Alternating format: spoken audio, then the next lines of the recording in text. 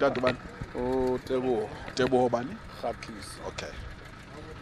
Dadutebo Khatlisi, not Khatlisi. Khatlisi. Khatletlisi. Khatlisi. Khatlisi. Okay. Mm. Mbukeli ekseni nje sisedolophini eyaziwa ngokokuba yiTlokwenge. iTlokwenge eh idolophu ekuthiwa iMount Fletcher kwiphondo laseMpuma Koloni. Ngentsasa namhlanje kwenzeka ingozi eh, enyantisa umzimba kakhulu eh apha kule dolophu yaseTlokwenge.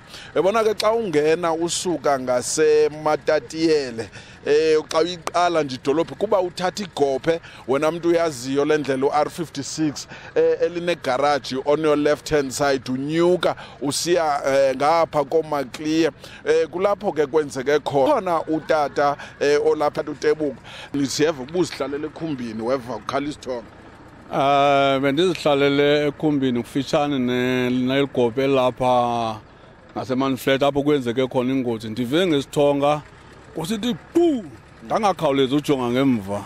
And then ekugqibeleni mandijonga ngemva ndive abantu bekhuza. Mandijonga ndithola itraka nantsi iyaqhunya phaa nekhumbi nantsi zitshayisene. Eh xa sisuka phaa ndibize abafana ukuthi masizonceda nabo. Asinceda abathi abesithola ukuthi le traka ihlulwe yikhevu kuthiwa iphelelwe zebriki ukwehla phezulu.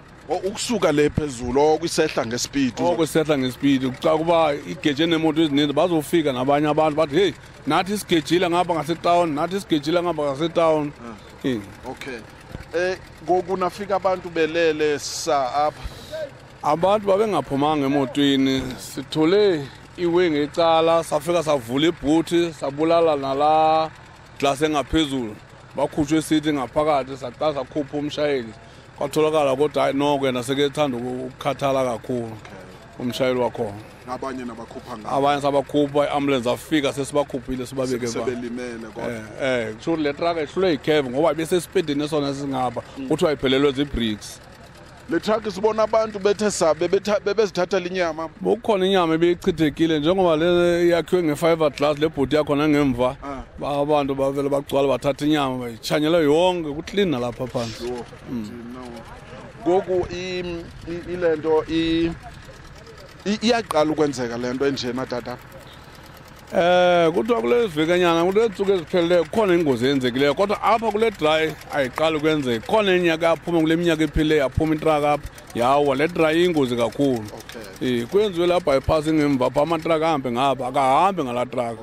Kungangoba singanqwenela ugovernment azame ukuthi eh zivalwe itraka zingahambi ngapha ngoba le ndlela iye eh imoto zininzi ngasetawuni mawufika ye untate utebuho lowo. Eh ubezihlalele ke eteksini xa kusenzeka le nto yayo ke. Siyeva into yoba umqhubi ke basesibhedlele abantu abalimeleyo kakhulu abalimele ngolona hlobo. Mbukeli ke eh xa ungenayo emanfletcher le ndlela iphuma edolophini phakathi phakathi ivaliwe njengoba sithetha nje.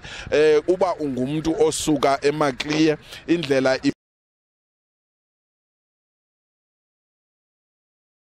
nawe wenamto ezi